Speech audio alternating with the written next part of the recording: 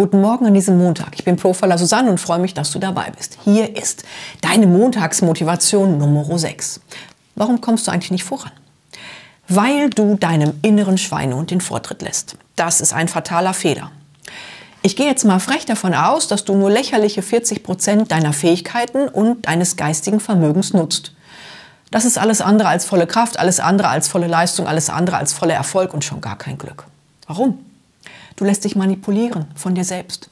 Gern nennen wir das den inneren Schweinehund, dann ist es immerhin wer anders, der der Böse ist. Bitte, wenn dir das hilft. Nein, tut es nicht.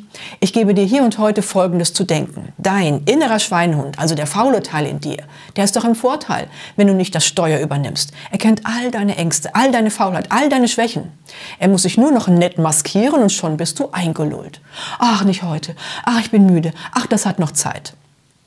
Du bist nicht ehrlich mit dir.